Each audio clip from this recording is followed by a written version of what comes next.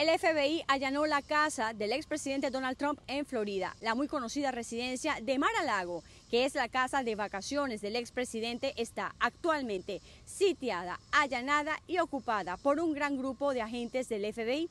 Esto según lo denunció el propio Donald Trump en un comunicado. La razón de esta orden aún no se conoce, pero el expresidente dijo que fue hecha sin previo aviso.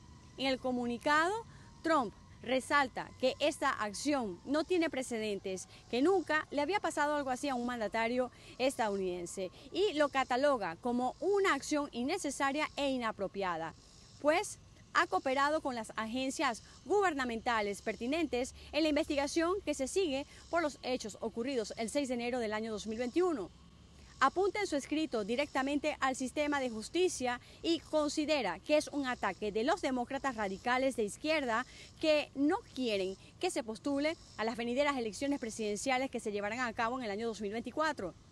Dice además que lo ocurrido es un asalto que solo podría tener lugar en países del tercer mundo con sistemas quebrantados. Revela el exmandatario que los agentes del FBI incluso registraron su caja fuerte y compara lo ocurrido con el caso Watergate.